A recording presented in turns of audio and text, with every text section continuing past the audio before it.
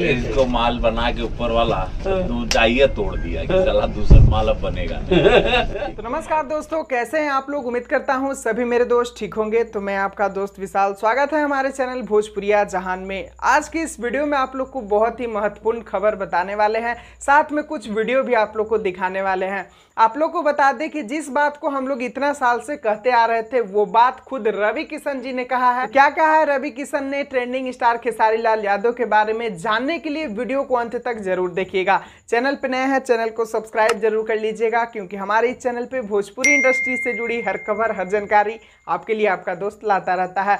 तो चलिए शुरुआत करते हैं। आज की जानकारी आप लोग को बता दें कि जिस बात को हम लोग इतना दिन से यूट्यूबर लोग कहते आ रहे हैं कि खेसारी लाल यादव अभी भोजपुरी इंडस्ट्री में नंबर वन है, दूसरा कोई खेसारी लाल यादव नहीं बन सकता है। ये बात तो आप लोग सभी लोग सुने होंगे, क्योंकि इस बात का ज़िक्र हमेशा हम लोग करते आते हैं। लेकिन कुछ विरोधियों के फ़ैन हैं, जिन लोगों की ये बात समझ में ही नहीं आती है। हम कहते थे तो समझ में नहीं आता था लेकिन लो आज खुद भोजपुरी इंडस्ट्री के बहुत ही दिग्गज कलाकार रवि किशन जी ने ये बात कहा है। सबूत के लिए आप लोग देखिए ये वीडियो। इनको तो आप लोग सब जान ही रहे हाँ, एक ही पीस है ये। आपके। अभी हमसे भैया बैंकॉक भी इसको, मिले। इसको माल बना के ऊपर वाला तो जाइए तोड़ दिया कि चला दूसरा माल अब बनेगा नहीं। एक का माल भाई।